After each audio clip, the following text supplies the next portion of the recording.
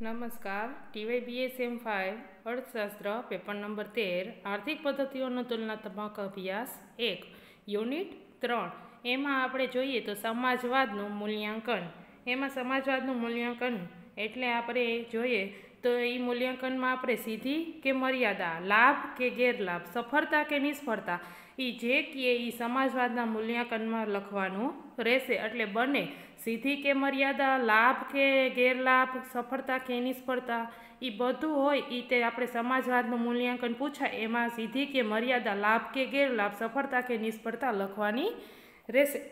એમાં પહેલું જોઈએ તો ઉત્પાદનના સાધનોનો ઇષ્ટતમ ઉપયોગ. તો મૂડીવાળી મૂડીવાદી પદ્ધતિની તુલનામાં સમાજવાદી અર્થવ્યવસ્થામાં ઉત્પાદન સાધનોનો શ્રેષ્ઠ શ્રેષ્ઠતમ ઉપયોગ થઈ શકે છે. મૂડીવાદી અર્થરચના, કિંમત પદ્ધતિ અને નફાના હેતુના આધારે ઉત્પાદનના સાધનોની જુદા જુદા ક્ષેત્રોમાં ફાળવણી થતી હોય છે. જ્યારે સમાજવાદી અર્થતંત્રમાં નફાને બદલે સામાજિક કલ્યાણ અને આર્થિક વિકાસને લક્ષ્યમાં રાખીને જરૂરી વસ્તુઓના ઉત્પાદન અને સાધનોનો ઉપયોગ કરવામાં આવે છે. તો સા, ઉત્પાદનના સાધનોનો ઇષ્ટતમ ઉપયોગ આપણે કઈ રીતે કરવો જોઈએ? તો મૂડીવાદી પદ્ધતિમાં તુલનાના મૂડીવાદી પદ્ધતિની તુલનામાં સમાજવાદી અર્થવ્યવસ્થામાં ઉત્પાદનના સાધનોનો શ્રેષ્ઠતમ ઉપયોગ થાય છે. જ્યારે મૂડીવાદી અર્થરચનામાં કિંમત પદ્ધતિ, નફાના હેતુના આધારે સાધનોની, એટલે ઉત્પાદનના સાધનોની જુદા જુદા ક્ષેત્રોમાં ફાળવણી કરવામાં આવે છે. જ્યારે સમાજવાદમાં, અર્થતંત્રમાં નફાને બદલે સામાજિક કલ્યાણ, આર્થિક વિકાસને લક્ષ્યમાં રાખીને જરૂરી વસ્તુઓના ઉત્પાદન માટેના સાધનોને રોકવામાં આવે છે. તો આપણે સમાજવાદમાં અને મૂડીવાદમાં ઉત્પાદનના સાધનોનો ઇષ્ટતમ ઉપયોગ કઈ રીતે થાય છે તે દર્શાવવાનું છે. હવે બીજું છે આર્થિક સ્થિરતા જાળવવી.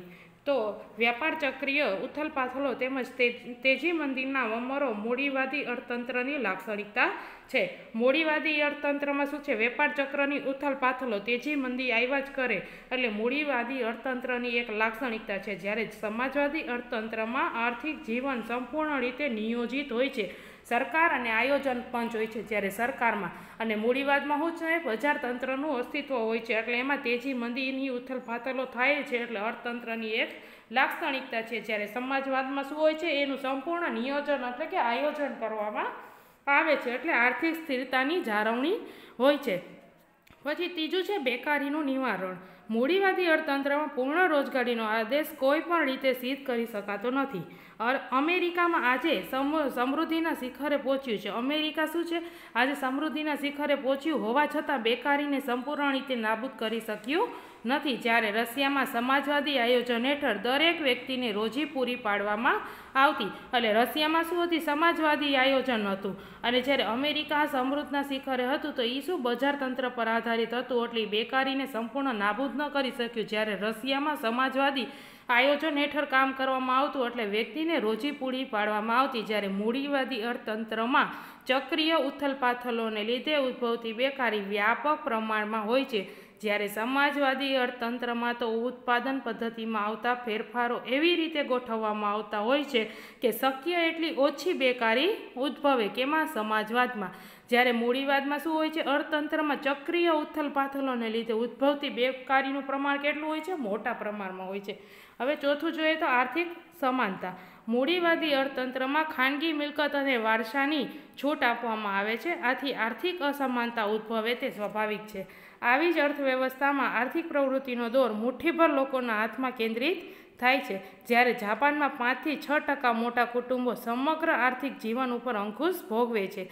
આ આર્થિક અસમાનતાને લીધે અનેક રાજકીય, સામાજિક અનિષ્ટો ઉદ્ભવે છે. તકોની અસમાનતા પણ ઊભી થાય છે. ગરીબ પ્રજાને શક્તિનો પૂરેપૂરો વિકાસ કરવાની તક મળતી નથી. આથી ગરીબો વધારે ગરીબ અને ધનિકો વધુ ધનિક બને છે એટલે આર્થિક અસમાનતાને કારણે પર શું હોય છે. એટલે આર્થિક સમાનતા લાવવી જોઈએ, જેના કારણે અસમાનતા ઊભી ન થાય. એટલે ગરીબો વધુ ગરીબો બનતા જાય અને ધનિકો વધુ ધનિકો બનતા જાય એટલે આર્થિક સમાનતા લાવવી જોઈએ. પછી છે શોષણની નાબૂદી. મૂડીવાદી અર્થતંત્રમાં ધનિકો તેમજ વિશિષ્ટ અધિકારી ધરાવતા વર્ગો દ્વારા ગરીબો તથા નબળા વર્ગોનું શું કરવામાં આવે છે? શોષણ. તો મૂડીવાદમાં શોષણ કરવામાં આવે છે. જ્યારે સમાજવાદી અર્થતંત્રમાં ઉત્પાદનના સાધનોની સામૂહિક માલિકી હોય છે. એટલે નફાના બદલે સામાજિક કલ્યાણના હેતુને ધ્યાનમાં રાખીને આર્થિક પ્રવૃત્તિઓ કરવામાં આવે છે. આથી મજૂરો કે ગ્રાહકોના શોષણની સંભાવના જ નથી રહેતી સમાજવાદમાં. પછી છે વર્ગવિહીન સમાજ રચના. એટલે મૂડીવાદી અર્થતંત્રમાં આર્થિક અને સામાજિક અસમાનતાને લીધે સમાજના વર્ગો પડી જાય છે. એટલે સાહુકાર અને ગરીબ, જમીનદારીઓ, ગણોતિયા, માલિક, મજૂર વગેરે વર્ગો અસ્તિત્વમાં આવે છે. આથી વર્ગ વિગ્રહ તેમજ ઘર્ષણોને લીધે આર્થિક પ્રવૃત્તિમાં વિક્ષેપ પડવાની સંભાવના રહે છે અને સમાજવાદી અર્થતંત્રમાં દરેક સભ્યને એક જ વર્ગના સભ્ય તરીકે ગણવામાં આવે છે. આથી વર્ગ વિગ્રહ અને ઘર્ષણો થતા નથી અને આર્થિક પ્રવૃત્તિઓ સતત એકધારી ચાલુ રહે છે. આમાં મેં છ પોઈન્ટ દર્શાવ્યા છે. વર્ગવિહીન સમાજ રચના સુધી પછીનો સાતમો, આઠમો, નવ, દસ, અગિયાર, બાર અને તેર પોઈન્ટ છે. જે આમાં સ્લાઇડમાં આવ્યા નથી એટલે હું એ પોઈન્ટ છે એ બોલું છું. સાતમું છે વપરાશ પસંદગીનું સ્વાતંત્ર્ય એટલે છ પોઈન્ટ છે એ મેં આમાં આપ્યા છે. અને સાતમો પોઈન્ટ આમાં આવ્યો નથી. એટલે સાતમો પોઈન્ટ છે કે મૂડીવાદી અર્થતંત્રમાં ગ્રાહકોને સર્વોપરી ગણવામાં આવે છે. વાસ્તવમાં આવી સ્વતંત્રતા સિદ્ધાંતમાં જ જોવા મળે છે. મૂડીવાદમાં ઊંચા ભાવો અને નફાવૃત્તિ દ્વારા ગ્રાહકોનું શોષણ કરવામાં આવે છે. જાહેર ખબરો દ્વારા ગ્રાહકોને છેતરવા માટે પ્રયાસો કર, થતા હોય છે. જ્યારે સમાજવાદી અર્થતંત્રમાં ગ્રાહકોને સાચી સ્વતંત્રતા પ્રાપ્ત થતી હોય છે. ગ્રાહકોની જરૂરિયાતો મોટા પ્રમાણમાં સંતોષવામાં આવે છે. ગ્રાહકોને જરૂરી માહિતી પૂરી પાડવામાં આવે છે. જાહેર ખબરો આપવામાં આવે છે. એટલે સમાજવાદમાં ગ્રાહકોની પસંદગીની સ્વતંત્રતા મળે છે. એટલે મૂડીવાદી અર્થતંત્રમાં ગ્રાહકને સર્વોપરી ગણવામાં આવે છે. વાસ્તવમાં આવી સ્વતંત્રતા સિદ્ધાંતમાં જ જોવા મળે છે. એટલે મૂડીવાદમાં ઊંચા ભાવો, નફાવૃત્તિ દ્વારા ગ્રાહકોનું શું કરવામાં આવે છે? શોષણ કરવામાં આવે છે. જ્યારે સમાજવાદમાં ગ્રાહકોની સાચી સ્વતંત્રતા પ્રાપ્ત થતી હોય છે. લોકોની જરૂરિયાતો સમજીને રાજ્ય તે પ્રમાણે ઉત્પાદન હાથ ધરે છે. ગ્રાહકોની જરૂરિયાતો મોટા પ્રમાણમાં સંતોષવામાં આવે છે. એટલે સાતમો પોઈન્ટ છે, વપરાશ પસંદગીનું સ્વાતંત્ર્ય. એટલે શું ગ્રાહક મૂડીવાદમાં, મૂડીવાદી સંસ્થામાં મૂડીવાદી અર્થવ્યવસ્થામાં ગ્રાહકોની સ્વતંત્રતા કેવી છે અને સમાજવાદી સમાજવાદમાં ગ્રાહકોની સ્વતંત્રતા કેવી છે એ દર્શાવવામાં આવે છે. પછી આઠમો છે, નાગરિકોને સામાજિક સલામતીનો લાભ. એટલે સામા સમાજવાદી અર્થવ્યવસ્થામાં નાગરિકોને જોખમો સામે રક્ષણ પૂરું પાડવામાં સામાજિક સલામતીની વ્યવસ્થા ઊભી કરવામાં આવે છે. જે રીતે તબીબી સહાય, વૃદ્ધાવસ્થા પેન્શન યોજના વગેરે સલામ, સામાજિક સલામતીની યોજનાઓ મોટા પાયા પર અમલી બનાવવામાં આવે છે. જો કે મૂડીવાદી દેશોમાં આવી સામાજિક સલામતીની વ્યવસ્થા ઊભી કરવામાં આવી છે, પરંતુ રશિયા તેમજ અન્ય કેટલાક સામ્યવાદી દેશોમાં તે વિશાળ પાયા પર કેટલી અમલી બનાવવામાં આવેલ, તેટલી આ દેશમાં નથી. એટલે નાગરિકોને સામાજિક સલામતીના લાભ. આપણે કેમ અકસ્માતથી વીમો અને બધા જે એલઆઈસીના આપણા વીમા વીમા હોય છે કે વાહનનો વીમો હોય છે કે આપણે કારનો વીમો હોય છે, ગમે એ વાહન લઈએ, આપણે એના વીમો હોય છે. એટલે નાગરિકોની સામાજિક સલામતીનો લાભ હોય છે. હવે પછી નવમું છે સંસ્થાનવાદી શોષણનો અર્થ. એટલે અંત. સંસ્થાવાદી શોષણનો અંત એ નવમો પોઈન્ટ છે. કાર્લ માર્ક્સના મત મુજબ મૂડીવાદને લીધે શ્રામ્ય સામ્રાજ્યવાદ, યુદ્ધો અને સંસ્થાઓનું શોષણ અસ્તિત્વમાં આવે છે. સમાજવાદ આવા સંસ્થાનવાદી શોષણનો વિરોધ કરે છે. આ દ્રષ્ટિએ મૂડીવાદ કરતાં સમાજવાદ ઈચ્છનીય ગણી શકાય એટલે સંસ્થાનવાદી શોષણનો અંત આવે છે. પછી દસમું છે, આર્થિક વિકાસનું લક્ષ્ય એ માનવ કલ્યાણ. કલ્યાણનું છે. આર્થિક વિકાસનું લક્ષ્ય શું છે કે માનવીના કલ્યાણમાં જેમ વધારો થાય એમ વધારો કરવાનું છે. જ્યારે મૂડીવાદી અર્થવ્યવસ્થામાં સંપત્તિને સર્વોચ્ચ સર્વોચ્ચ ગણવામાં આવે છે. એટલે એ વિકાસનું શું છે? સંપત્તિ છે એ આર્થિક વિકાસનું લક્ષ્ય છે તે ગણવામાં આવે છે. શેમાં? તો મૂડીવાદી સંસ્થામાં. મૂડીવાદમાં માનવના ભોગે સંપત્તિના સર્જન માટે છૂટો દોર આપવામાં આવ્યો છે. જ્યારે સમાજવાદમાં માનવતાના પાયા પર ઊભેલી વ્યવસ્થા હોવાથી તેમાં માનવ કલ્યાણને મુખ્ય લક્ષ્ય બનાવવામાં આવે છે. સંપત્તિ કે જેને ખરેખર આર્થિક વિકાસનું લક્ષ્ય બનાવવાને બદલે માનવ કલ્યાણને સંપત્તિને કે જે ખરેખર આર્થિક વિકાસનું લક્ષ્ય બનાવવું છે, એને બદલે આપણે સમાજવાદમાં શું છે? માનવ કલ્યાણને સર્જનારા સાધન તરીકે સ્વીકારવામાં આવ્યું છે. જ્યારે મૂડીવાદમાં, મૂડીવાદી અર્થવ્યવસ્થામાં સંપત્તિને શું છે? આર્થિક વિકાસનું લક્ષ્ય ગણવામાં આવ્યું છે. જ્યારે માનવ સમાજવાદમાં માનવ કલ્યાણને મુખ્ય લક્ષ્ય લક્ષ્ય બનાવવામાં આવ્યું છે. સંપત્તિ કે જેને ખરેખર આર્થિક વિકાસનું લક્ષ્ય ગણવામાં આવે છે, પણ શું છે માનવ કલ્યાણને સર્જનારા સાધનો તરીકે સ્વીકારવામાં આવ્યું છે? અગિયારમું છે કાર્યક્ષમતા અનુસાર તકના લાભો. મૂડીવાદમાં ખાનગી મિલકત અને વારસાના હકની પદ્ધતિને કારણે આર્થિક અસમાનતાના વારસાગત ચાલી રહી છે. એટલે વારસાગત ચાલી આવે છે. મૂડીવાદમાં શું છે? ખાનગી મિલકતના વારસા હકની પદ્ધતિને કારણે આર્થિક અસમાનતા ઊભી થાય છે. જ્યારે ધનવાન કુટુંબમાંથી આવતી વ્યક્તિને આપોઆપ સંપત્તિ પ્રાપ્ત થાય છે. પરિણામે સમાજનો અમુક વર્ગ કોઈ પણ પ્રકારની કાર્યક્ષમતા ધરાવતો જ ન હોય. છતાં પણ કેવરે કેવર મલમલની શું છે? સૈયામાં જન્મ પામ, પામવાને કારણે શ્રીમંત બની જાય છે. એટલે શું? કે જન્મ જ એવા એવા કુટુંબમાં લે છે કે એના માતા પિતા પાસે એટલી સંપત્તિ હોય એટલે પોતે કાંઈ કેરવવું ન હોય, કાંઈ કાર્યક્ષમતા ન ધરાવતા હોય, પરંતુ કેવળ એ મલ, મખમલની સૈયાની જન્મ આપવા, પામવાને કારણે જ શ્રીમદ બની જાય છે. જ્યારે એ જ સમાજનો બીજો મોટો વર્ગ, એટલે જ્યારે એ જ સમાજનો બીજો મોટો વર્ગ ગમે એટલી કાર્યક્ષમતા ધરાવતો હોય, છતાં કેવળ એકાદ અંધારી ઓરડીમાં જન્મ પામવાને કારણે મૃત્યુ સુધી ગરીબ જ રહે છે.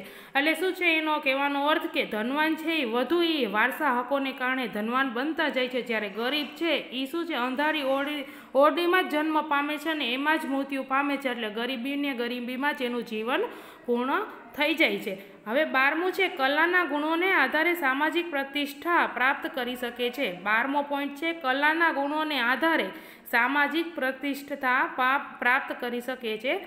મૂડીવાદમાં ધનને સર્વસ્વ ગણવામાં આવતું હોવાથી ધનની જ બધી વસ્તુની મૂલવણી કરવામાં આવે છે. આથી ધનવાન વ્યક્તિમાં અન્ય કોઈ પણ પ્રકારની લાયકતા, લાયકાત ન હોવા છતાં તેની સંપત્તિ માલિકીને કારણે તેને સામાજિક પ્રતિષ્ઠા આપવામાં આવે છે. અર્થાત સામાજિક પ્રતિષ્ઠાનું સાચું માપક સાધન વ્યક્તિમાં પડેલી કલા, સંગીત અને સાહિત્ય હોવા છતાં મૂડીવાદમાં ધનની આગળ તેને શું ગણવામાં આવે છે. ગૌણ એટલે શું છે કે એ લોકોને એનામાં આવડત એટલે કલા, કૌશલ્ય, સંગીત બધું હોય. પણ મૂડીવાદમાં એને શું ગૌણ ગણવામાં આવે છે? જ્યારે સમાજવાદમાં ધન નહીં, પરંતુ માણસોને શું છે મહત્ત્વનું ગણવામાં આવે છે? એટલે માણસોને વર્ચસ્વ આપે છે.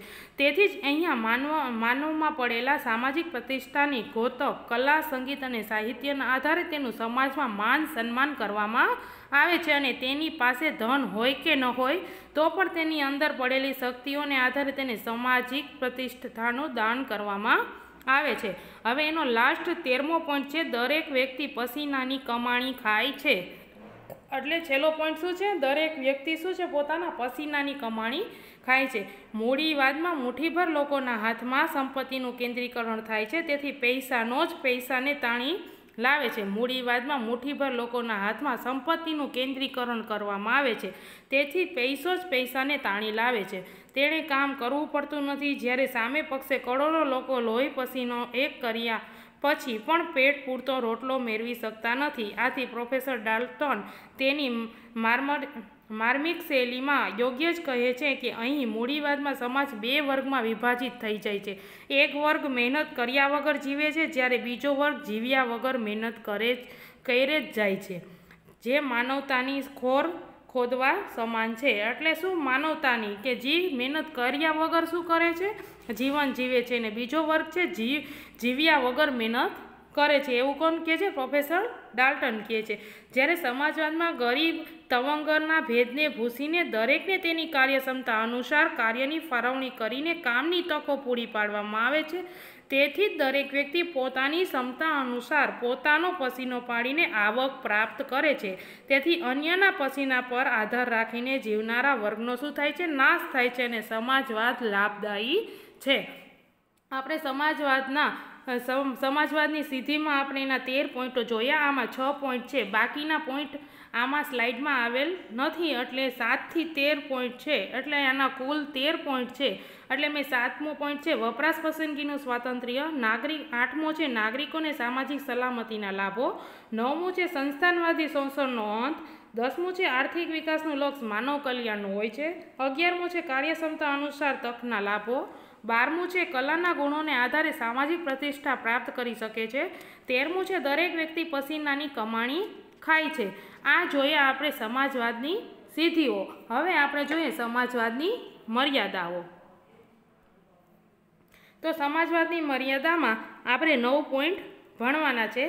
તો એ સમાજવાદની મર્યાદા જોઈએ તો રાજકીય અને આર્થિક સત્તાનું કેન્દ્રીકરણ. આ પહેલું એની પહેલું, પહેલો પોઈન્ટ છે. રાજકીય અને આર્થિક સત્તાનું કેન્દ્રીકરણ. સમાજવાદી અર્થતંત્ર આયોજિત હોવાથી સમગ્ર આર્થિક જીવન પર રાજ્યોનો શું હોય છે? અંકુશ હોય છે. રાજકીય અને આર્થિક સત્તાનું કેન્દ્રીકરણ એટલે સમાજવાદી અર્થતંત્રમાં આયોજિત હોવાથી સમગ્ર આર્થિક જીવન પર કોનું હોય છે? રાજ્યનો અંકુશ હોય છે. કેમ કે સમાજવાદમાં નિર્ણયો કોણ લે છે? સરકાર અને આયોજન પંચ. જ્યારે ઉત્પાદનના સાધનોની માલિકી સમાજની હોય છે રાજ્ય ઉત્પાદનના સાધનોને ચોક્કસ ઉત્પાદન કાર્ય તરફ વારવાનું કામ કરે છે. ગ્રાહકોની સર્વોપરિતા તેમજ વ્યવસાયના સ્વતંત્રતાનો ભોગ લેવામાં આવે છે. સમાજવાદી અર્થતંત્રમાં બધા જ આર્થિક નિર્ણયો વહીવટી આદેશો મુજબ લેવામાં આવે છે. લોકો શ્રમિકો બને છે. આથી તેમજ પહેલવૃત્તિ અને ઉપક્રમશીલતાનો વિકાસ થતો નથી. રાજ્યના હાથમાં વિશાળ પ્રમાણમાં રાજકીય અને આર્થિક સત્તાનું કેન્દ્રીકરણ થાય છે એટલે સમાજવાદમાં રાજકીય અને આર્થિક સત્તાનું શું થાય છે? કેન્દ્રીકરણ. કેમ કે ઉત્પાદનના સાધનોની ફાળવણીનો નિર્ણય સરકાર અને આયોજન પંચ લેશે એટલે એ રાજ્યોમાં રાજ્ય પોતે નિર્ણય લેશે. બીજું છે કિંમત પદ્ધતિનો અભાવ.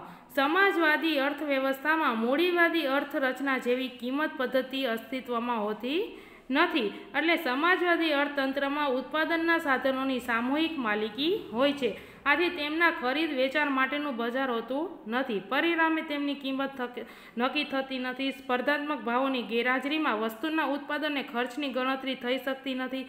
કિંમત પદ્ધતિના અભાવના ઉત્પાદનના સાધનોની બુદ્ધિયુક્ત ફાળવણી થઈ શકતી નથી.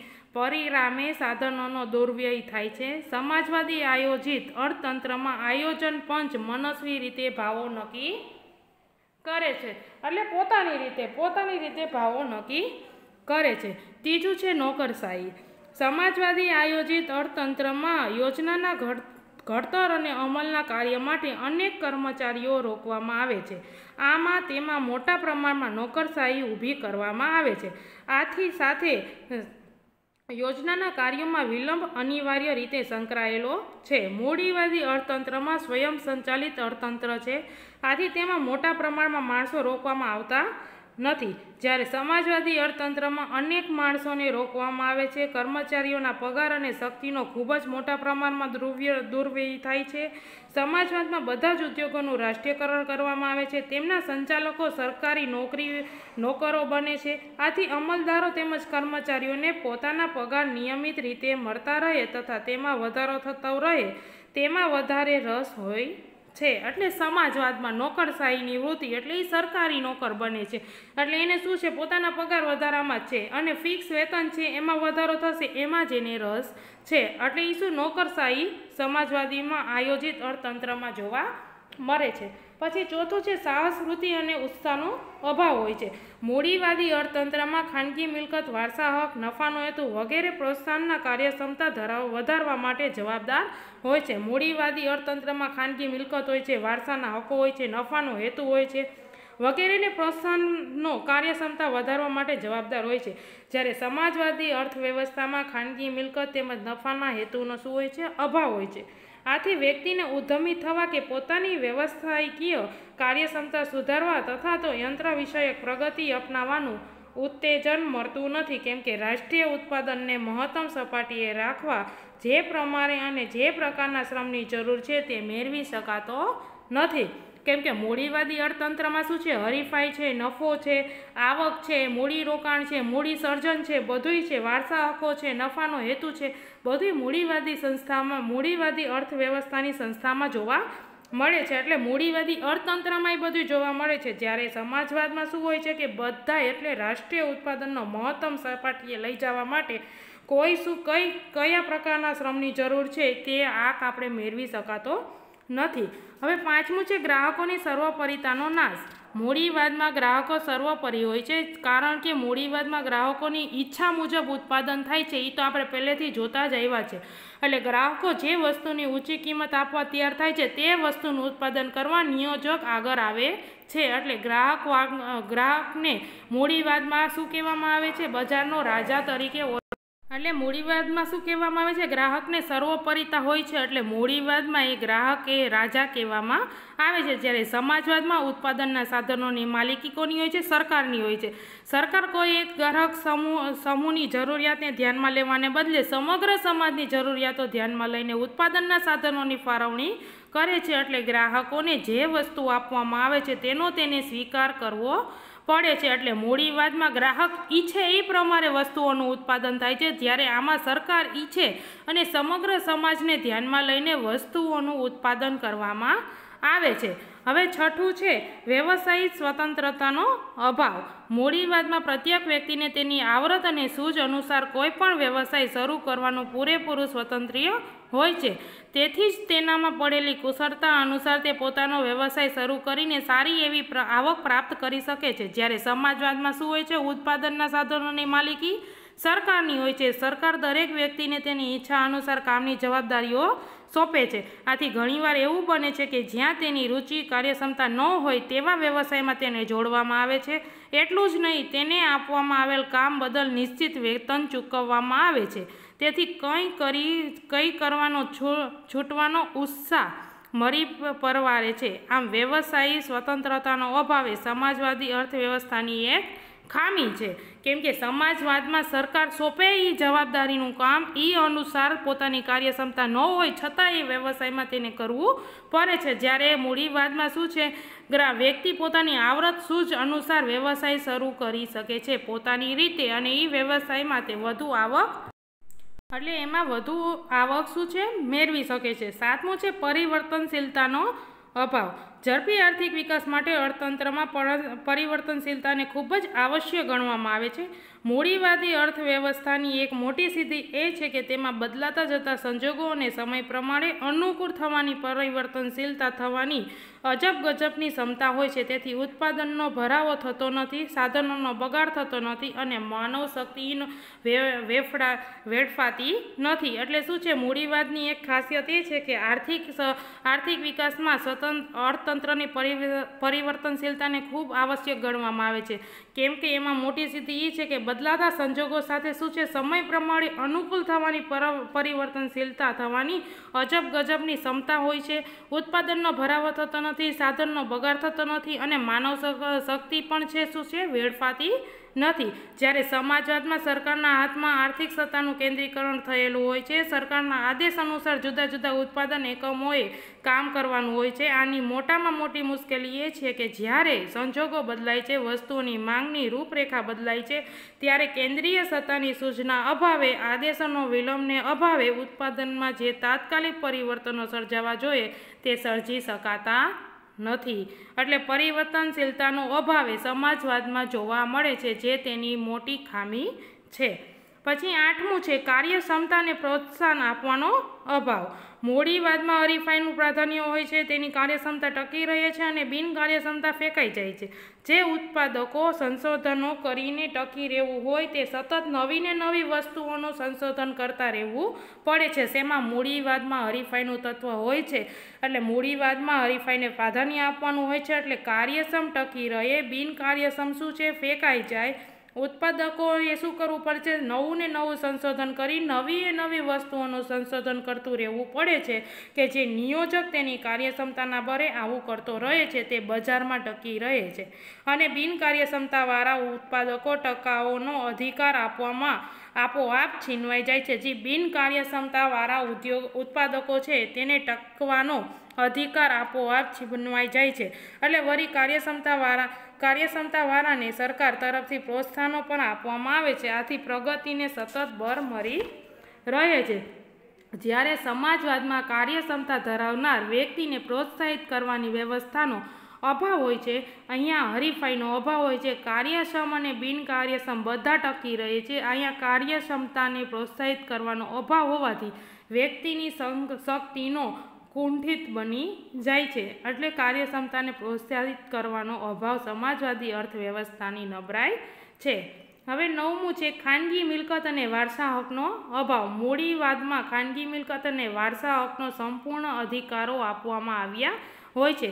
તેથી જે લોકોની સૂઝ અને આવરત હોય છે, તે લોકોને પોતાની સંપત્તિમાં વધારો કરવા માટે સતત પ્રેરણા મળતી રહે છે એટલે તે વધુને વધુ કામ કરવા હંમેશા તત્પર રહે છે. તેથી દેશના વિકાસને સારું એવું બળ મળે છે. કેમાં મૂડીવાદમાં જ્યારે સમાજવાદમાં ઉત્પાદનના સાધનોની માલિકી સરકારની હોય છે, તેમજ ઉત્પાદનની વ્યવસ્થાનો સરકાર પોતે જ ગોઠવે છે, કઈ વસ્તીનું ઉત્પાદન કરવું, બધાય ધારાધોરણો, નિયમો, અંકુશો કોણ લેશે, સરકાર જ લેશે, તેમાં લોકોને તેમાં જોડાવાનો આદેશ આપવામાં આવે છે, તેની કામગીરી અનુસાર તેને વેતન ચૂકવવામાં આવે છે, જેમાંથી તેણે પેટ ગુજારો કરવાનો હોય છે. તેથી અહીંયા ખાનગી મિલકતના હકોનો સવાલ પેદા થતો જ નથી, તો પછી વારસા હકની વાતો તો ક્યાં કરવાની રહી એટલે ખાનગી મિલકત અને વારસા હકનો અભાવ એ સમાજવાદની અર્થવ્યવસ્થાની એક મોટામાં મોટી નબળાઈ છે એટલે સમાજવાદની ખામી છે. આ આપણે જોયું સમાજવાદનું મૂલ્યાંકન એટલે એના લાભો અને મર્યાદાઓ, સફળતા કે નિષ્ફળતા.